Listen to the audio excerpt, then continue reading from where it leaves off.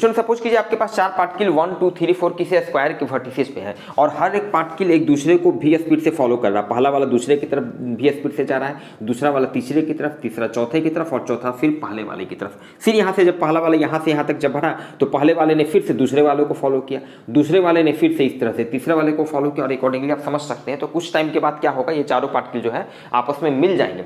तो जितने टाइम के बाद ये आपस में मिलेंगे, उसे हम कहते हैं टाइम ऑफ़ कन्वर्जेंस तो इन जनरल ऐसा ये यहाँ पे स्क्वायर के लिए मैंने बताया, ये ट्राइंगल के लिए भी हो सकता है पेंटागोन के लिए भी हो सकता है हेक्सागोन के लिए भी हो सकता है। तो इन जनरल मैं आपको फॉर्मूला बताने वाला हूँ कि किसी भी तरह के शेप पर अगर इस तरह के एन नंबर ऑफ़ पार्टिकल्स हैं तो कितने टाइम के बाद वो मिलेंगे? तो उसका जनरल फॉर्मूला स्टूडेंट होता है L by T equal to L by two भी sine square one eighty degree divided by N जहाँ पर स्टूडेंट यहाँ पर एल जो होता है, उसका लेंथ होता है। अगर ये स्क्वायर है तो इसका लेंथ होगा ट्राइंगल है तो उसका लेंथ होगा। जैसे, यहाँ पर मैं आपको कैलकुलेट करके दिखाता हूँ ट्राइंगल के लिए कि अगर ये ट्राइंगल के वर्टिसेज पे है तो कितने टाइम के बाद मिलेंगे? तो ध्यान दीजिएगा, अगर इसका लेंथ एल मानते हैं भी स्पीड से फॉलो कर रहे हैं तो this is sine square 180 degree और एन यहाँ पर ट्राइंगल है तो थ्री हो गया। इसको सॉल्व करेंगे तो इसका आंसर आ जाता है student two L by three भी। और अकॉर्डिंगली स्टूडेंट आप इस स्क्वायर के लिए कैलकुलेट कर सकते हैं, इसका आंसर आएगा T equal to L by three